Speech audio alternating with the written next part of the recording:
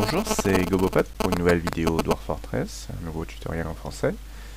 Alors la dernière fois on avait eu euh, une vague, euh, ma première vague d'immigrants de cette partie. J'ai dit que ce serait un bon prétexte pour euh, le sujet de cette vidéo, c'est-à-dire la gestion des jobs. depuis le début, pour la gestion des, jobs, je passe par le menu V, View Unit. Alors attendez, je vais descendre, retrouver mes nains. Voilà, donc ce que je faisais, je faisais menu V. Voilà, je, je tombais sur un 1. Et puis, euh, je faisais P comme préférence. Et puis L pour labor. Et là, vous vous souvenez, j'ai activé, désactivé. Bon, c'est... Ok, bon, j'avais que cette main au début, euh, on peut dire que ça allait. Mais euh, ça devient vite laborieux. Bon, là, je sais pas combien j'en ai, je dois peut-être une quinzaine, on va voir ça tout de suite. Mais bon, ensuite, vous en avez 50, vous en avez 100. Ça devient laborieux de, gérer ces nains un à un. Donc pour ça, vous avez un, soft euh, externe qui est très utile, en fait, qui est même indispensable. C'est le seul euh, soft externe avec lequel je joue pour ma part. C'est Dwarf Therapist. Et en fait, quand vous avez téléchargé le Lazy New Pack, vous avez à disposition ce, les, euh, Dwarf Therapist. Donc, si j'ouvre l'écran du Lazy Pack, ça se trouve dans l'onglet Utilities. Là, vous avez une liste de, de soft que vous pouvez utiliser. Et c'est le deuxième ici, vous voyez, Dwarf Therapist. Et donc, Run Programme. On va voir ce que ça donne. Je réduis cette fenêtre. Voilà. Et c'est chargé. Donc euh, en fait c'est un outil pour gérer les jobs euh, qui me liste mes nains avec en haut en colonne l'ensemble des jobs euh, activables. Alors c'est pas tout à fait l'ensemble vu qu'en fait on a trois onglets hein, qui reprennent finalement les trois les trois onglets du jeu, c'est-à-dire labors ici, military et social. Mais military et social, ça va être juste un indicateur de, compétences, ce ne sont pas des jobs activables. Donc euh, c'est dans l'onglet labor qu'on retrouve tous les jobs activables. Alors, c'est vraiment facile à prendre en main. Bon, vous voyez peut-être beaucoup de choses là, mais vous verrez que c'est vraiment simple. En fait, ce qu'il faut voir, c'est euh, les, petits carrés. Alors je parle des, carrés à l'intérieur des carrés, si je puis dire. Donc là vous voyez, ici j'ai des plus gros carrés, ici j'en ai des plus petits. Donc plus le carré est grand, plus le carré blanc à l'intérieur est, est, grand, plus le nain est compétent dans ce domaine. D'accord?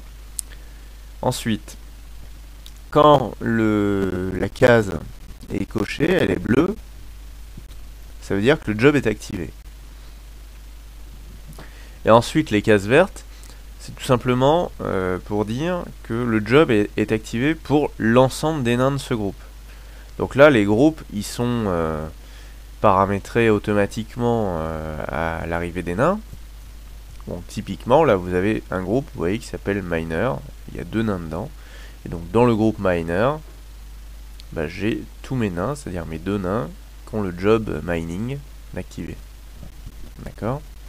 Donc en fait, ces cases vertes, et c'est ça qui va nous être utile euh, plus tard, euh, vont nous permettre de gérer des groupes de nains. Enfin, d'activer ou de désactiver euh, un job pour l'ensemble d'un groupe. C'est ça qui va nous permettre d'aller beaucoup plus vite.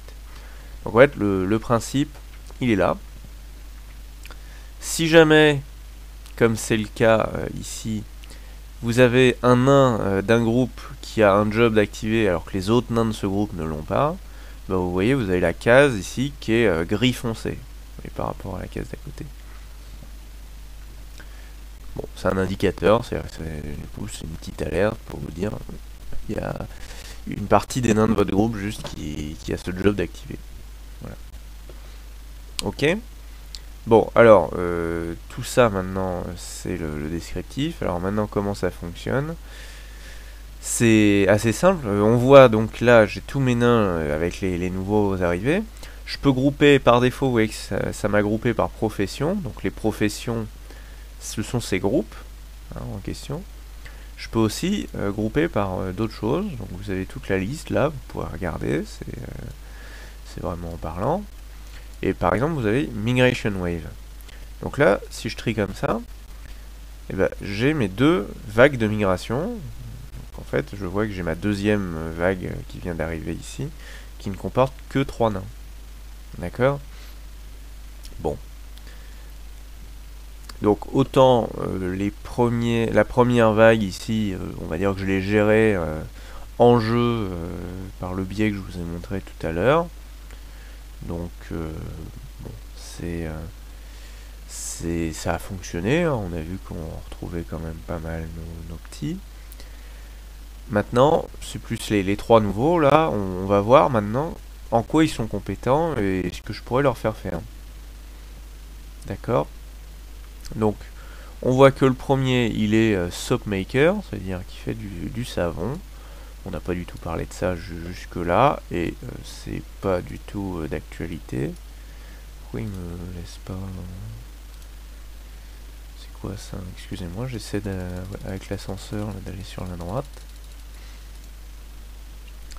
Et je ne comprends pas pourquoi il me laisse pas faire. Bon, ok, bizarre. Bon, donc, j'ai, euh, je disais, Soapmaker, ça m'intéresse pas pour le moment. Bon, pareil, lui, il est Plant Processing. Pour le moment, ça m'intéresse pas, ça m'intéressera un peu plus vite que Soapmaker.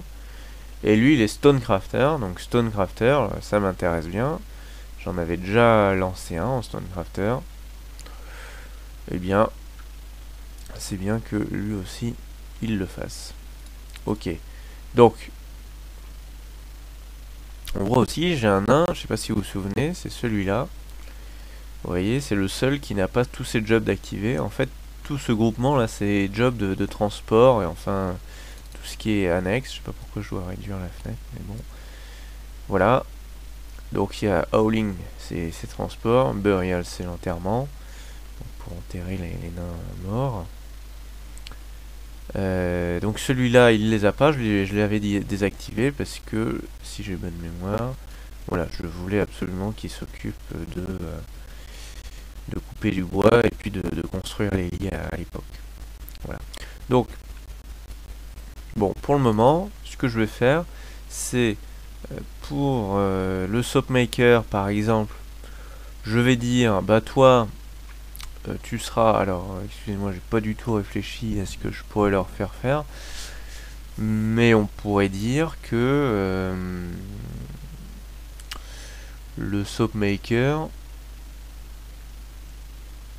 il va être... Alors, à la limite, ce que je peux faire, c'est aussi, c'est ce que je fais euh, ensuite par la suite très, très régulièrement, c'est d'avoir vraiment des équipes de nains uniquement dédiées au transport. D'accord? Et puis les nains qui font de la production, eux, vraiment, euh, je leur décoche tous les jobs de transport et je les laisse se concentrer sur la production. Bon alors par exemple, typiquement, il y a... Euh, le, fermier, là, vous voyez, il a pas mal de, jobs. Donc ce que je peux faire, c'est décocher tous les jobs de transport pour le fermier. C'est un exemple. Hein. Voilà, je décoche tous les jobs de transport. Alors, vous voyez, il me garde en mémoire mes, mes changements, c'est-à-dire que je peux revenir en arrière. Hein. En fait, toutes mes modifs, elles sont listées ici. Et il faut que je les valide, que je les valide définitivement avec le commit. Et si je voulais revenir en arrière avant de commit, eh ben je ferais clear. Clear change. D'accord? Donc, bon, on va commit. Voilà. De la même manière, j'ai le, mon brasseur pêcheur Lui, euh, il en a déjà beaucoup, donc lui, je vais également lui retirer les, jobs de, transport. Et je commit. Là, bon, les jobs, je les, laisse activer. De toute manière, je vais pas m'en servir tout de suite. C'est pas ça qui va me polluer. Et puis, j'ai euh, mon Stone Crafter. Je vais, le, je vais le laisser Stone Crafter. Histoire d'être... Euh, alors, je vois aussi qu'il a Leather Worker, pour, être, pour le travail du cuir. Donc, ce que je vais faire, pour le coup, c'est que euh, je vais créer une profession pour vous montrer comment ça, fonctionne. Je vais créer une profession de, crafter. Voilà. Donc pour ça, en fait, soit vous... Enfin, excusez-moi. Ce qu'on va faire, c'est que je vais déjà, à partir d'un premier nain, je vais lui cocher les jobs qui m'intéressent. Donc par exemple, woodcrafting, leatherworking. Ah, bon, c'est pas je vais, m'arrêter là pour le moment. Je vais laisser gem cutting. Donc en fait, c'est ces 5 jobs là. Je vais laisser les, jobs de, transport pour le moment. Pourrais les, retirer. Et puis j'estime que ce profil là me plaît, c'est euh, avoir tous ces jobs. Donc déjà je commit ce que je viens de faire. Et puis ce, ce nain, ce profil, je vais le sauvegarder en disant, donc je sélectionne, je vais revenir en, par profession, histoire de, ça va être plus parlant. Donc c'était euh, All-in, euh, voilà, c'est le premier, vous voyez. Et donc lui, vous voyez, il est Craftsman. Et ben je vais faire clic droit dessus, vous voyez, Custom Profession. Et là, alors toute cette liste en dessous, en fait, c'est les professions que moi je me suis paramétré euh, auparavant. Mais euh, je vais en créer une nouvelle pour l'occasion pour vous, c'est-à-dire je vais faire euh, New Custom Profession from this. D'accord? C'est-à-dire que je, à partir de ce, de ce nain, de ce profil, je vais créer une Custom Profession. Donc j'ai cette fenêtre qui s'ouvre, je pourrais cocher, décocher éventuellement des choses, mais là en fait on retrouve le profil que j'ai sélectionné avec euh, Woodcrafting, Stonecrafting, etc. Et donc la profession name, ce sera, on va dire, artisan. Voilà. Je vais l'appeler artisan tuto, pour m'en souvenir. Ok. Et du coup, en bas à droite, là, j'ai artisan tuto qui vient de se rajouter. Ici, c'est toute ma liste de euh, custom profession. Donc, si je fais un petit coup de... de pardon, de, pour rafraîchir. Euh, est-ce que je peux rafraîchir? Non, c'est pas... En fait, le plus simple pour rafraîchir, c'est le Read Dwarfs. Bon, alors, euh, bon, là en l'occurrence, je pensais que ça m'aurait changé le nom de la profession. C'est pas grave. Bon, le Read Dwarfs, ça, c'est vraiment élémentaire. C'est, imaginons, là j'ai fini de faire ce que je voulais, je joue, Bon bah je fais au bout d'une demi-heure je reviens, je veux reparamétrer mes jobs. Bah, rien n'a changé depuis la dernière fois. Donc Read Dwarf ça va ça va actualiser avec euh, la situation euh, en jeu.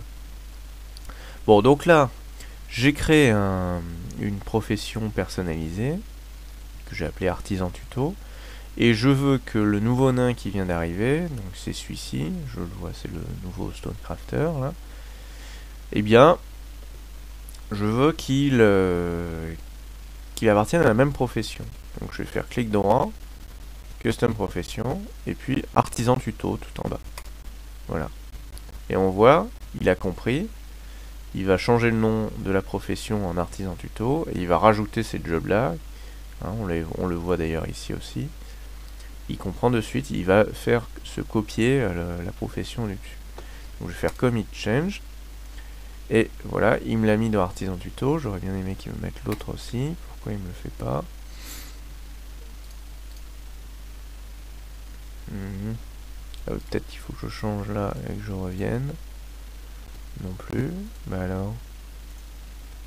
Ah oui, alors, oui, parce que j'ai créé une euh, j'ai créé une custom profession à partir de ce nain, mais je lui ai pas attribué. C'est tout simplement pour ça. Voilà, donc faut juste que je change la profession en artisan tuto, je commit. Voilà. Vous voyez, j'ai les deux regroupés. Et donc, bon bah c'est ce que je disais, imaginez j'en ai j'en ai deux là que, j'ai collé en tant qu'artisan. Bon, imaginez, j'en ai 5, bon, bah, j'en ai trois autres qui se pointent à la, prochaine migration. Je, je, pourrais, en cochant, décochant euh, la tête de colonne, là, bah, attribuer le, job à, tout le monde. Voilà, l'intérêt, il est là. Bon, là, j'ai pas beaucoup de nains, j'en ai que 10, hein, vous voyez, c'est écrit ici. Donc, bon, c'est vrai qu'en fait, j'ai des groupes, de, j'ai des professions avec un seul nain dedans, donc c'est pas très très parlant. Mais bon, vous me verrez y retourner régulièrement dans la suite des tutos. Et je pense que ça vous parlera plus. D'ailleurs, pour que ça vous parle de suite, euh, je vous invite euh, de suite après la vidéo, si vous êtes euh, curieux sur Dwarf Therapist, à consulter la vidéo live, donc sur la chaîne Gobo Live cette fois, pas la chaîne Gobo Tuto sur laquelle vous êtes actuellement. Sur la chaîne Gobo Live, je vous invite à regarder les vidéos 4, les quatrième vidéo, elle est entièrement consacrée à Dwarf Therapist. Euh, en fait, euh, j'y ai passé carrément une heure et demie, donc euh, je vous en voudrais pas si au bout de 20 minutes, une demi-heure, vous vous décrochez. En fait, c'est deux vidéos de 40 minutes, c'est la 4 et la 4 bis. Donc bah là, je pense que ça vous parlera plus. Là, vous, je vous ai fait une présentation, mais si vous voulez vraiment voir dans le détail comment j'ai manipulé Dwarf Therapist pour avoir ce que je voulais, allez faire un tour sur Gobo Live. Je crois que au moment où j'ai fait la vidéo, il devait déjà y avoir 130 ou 150 nains euh, dans, ma partie. Donc là, c'est beaucoup plus parlant. Voilà. Je vais m'arrêter là, en fait. Hein. Je ne joue pas, finalement, je ne joue pas dans cette partie. C'était uniquement une vidéo présentation euh, de War Therapist. Mais c'est toujours utile. Et pour la prochaine fois, eh on reviendra euh, dans le dur et donc on continuera euh, de survoler les, les différents menus. Merci à vous et puis à très bientôt. Au revoir